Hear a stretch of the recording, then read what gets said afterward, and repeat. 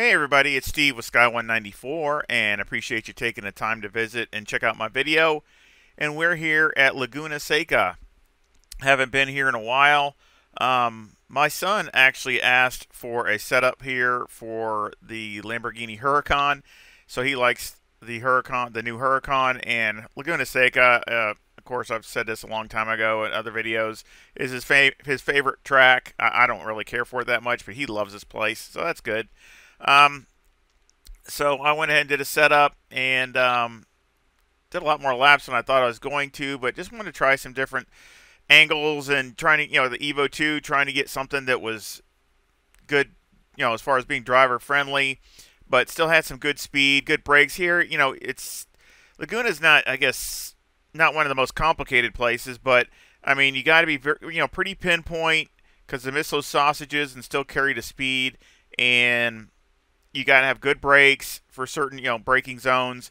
You know, pretty strong in the brakes. So it's a few things that you really want the car to do good, uh, to react, you know, really good. And when you turn it, it's got to react right away. You can't, you can't wait for it. So um, I try to kind of tune it in that way, and of course, uh, work on the suspension to get it to handle some of the bumps as best I could. So let's do a lap.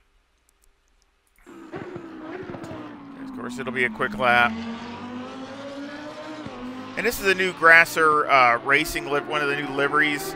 Um, there's this one, and there's two of them, this one and another one. So I don't think I ever uh, uh, had it on a video, so I figured I would go ahead and just use this one. I've always liked the Grasser Racing Lamborghinis, at least the older ones.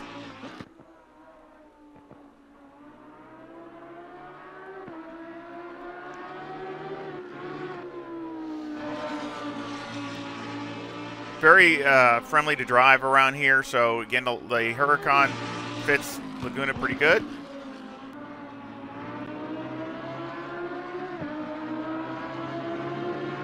This course is the hardest section for me right here. So you really got to have the car on its nose right there or it'll always run in the dirt. Really the corkscrew isn't that difficult to me.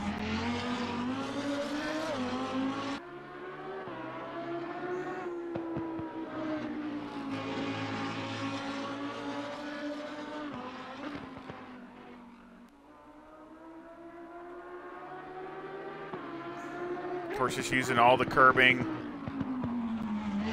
Good late apex here in the last corner to get the drive down the straightaway.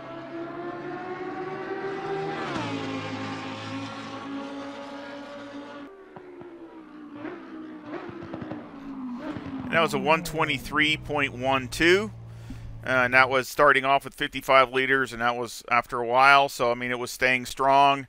Um, real happy with the pace it had. It felt like it could pretty much do that for a long time.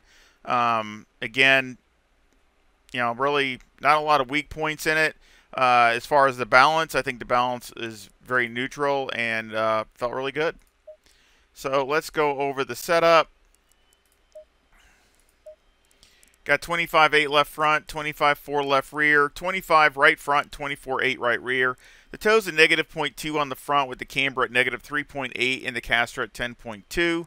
And the toe on the rear is a positive 0.2 with the camber at negative 2.8. Again, trying to get the car um, to react as soon as you turn the wheel. So that's the idea of it without having to jack the car ride height to the moon.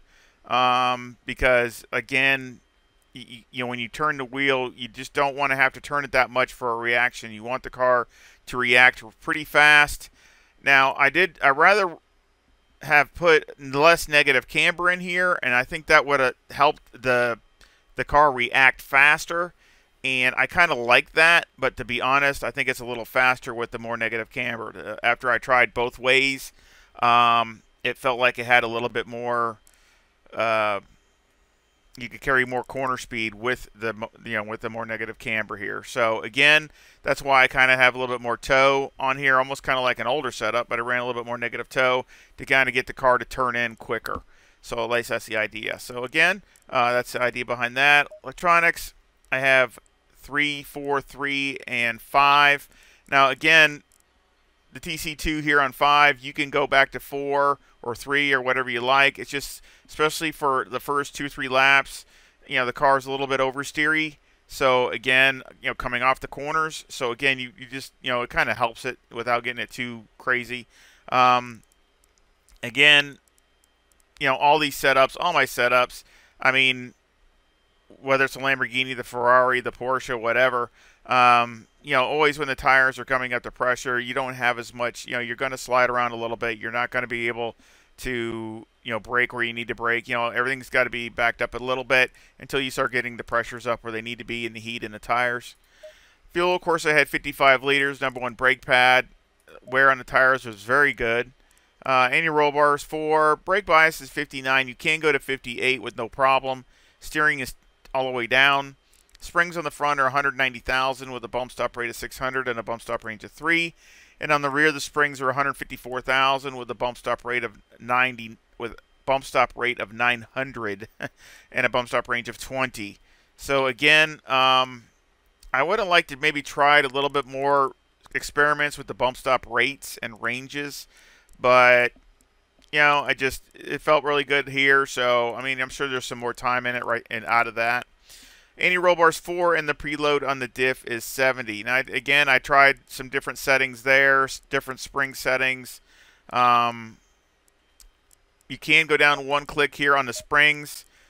You know, it you know it doesn't hurt it, but I think I liked it a little. You could be a little bit more precise with the stiffer springs, and here precise is definitely worth a little bit because you, you just you got to nail those points and the closer you can come to the sausages, the better you are, but you don't want to hit them. So again, it's it's being precise is definitely important. Um, that's about it here. Shocks, 21, 10, 15, and 20 on the front. That should be 20. There we go. 21, 10, 15, and 20, and 8, 3, 12, and 6. So again, you know, made a few adjustments along the way. I've always, you know, a couple clicks here, a couple clicks there, just trying to dial it in every time, trying to get it a little bit closer, so it should be pretty good.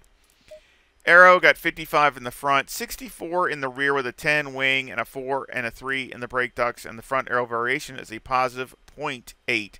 So here again, you know, I really don't want to jack this up really much any more really than what it is because it's going to come up as the fuel comes out. So as you see, it comes up to 65. It only comes up one, so it's not bad. So that's not terrible. Only coming up one, but um, I still rather, you know, if you had a full tank, it'd probably come up two or three. So again, I, I'd rather just leave it where it's at. That's enough ride height to me. Um, but it really needs the ride height for it to react on the turn in. Uh, corner entry here is critical to hit the hit your marks and hit the spots um, to carry the momentum and the corner speed through and not hit the sausages but not run wide and then end up running off into the dirt coming off the corner. So again, it's really critical with that. And of course, you need the rear end. You don't want to have to do too much corrections because otherwise you're going to catch it, but you're going to go run in the dirt and all that other stuff. So again, that's why I run 10. A 10 wing on the Lamborghini is pretty much to me max. Uh, the only reason you'd have to probably run more, um, I think I did at Valencia, but you could go down to 10 even there. But, uh, you know, really, the only time probably running max wing is probably in the rain. I, I mean, I would probably, here in the rain, I would probably lift this up one, uh, nose up in the front one, and max the wing out in the rain. That's about all I would do. It was a, just a rain event. That was it.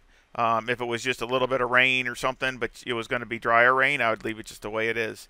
So again, you know, different things you can do, and of course, obviously with the electronics, you can do a lot of things here. Obviously, with the map, you can do go up to map five, and that'll bring the you know pull the car in with the engine braking, or you can go to map one if uh, you think it's a little bit too much too rotate you know rotating too much for you so either way it'll do you know you can tune it in the way you like it same thing with the tc1 and tc2 so again, I hope you enjoy it. I hope you like it. Um, and I hope you know you can run some good lap times with it. So again, I'll leave a link to this, of course, in the description, and I'll leave a link to this in my Discord. So again, I'll have a Discord link also in my description and a PayPal link if you want to help support the channel that way. I really appreciate it. It does help with a lot of little odds and ends and things that I do. um, here with the channel, um, and I would appreciate it. But again, liking and subscribing is a big support too, and I want to thank everybody for doing that and sharing it and just getting it out there. I appreciate it. That's huge. Um, so again, I sure hope you enjoyed it, and I hope you come back and visit again really soon. Y'all take care. See you.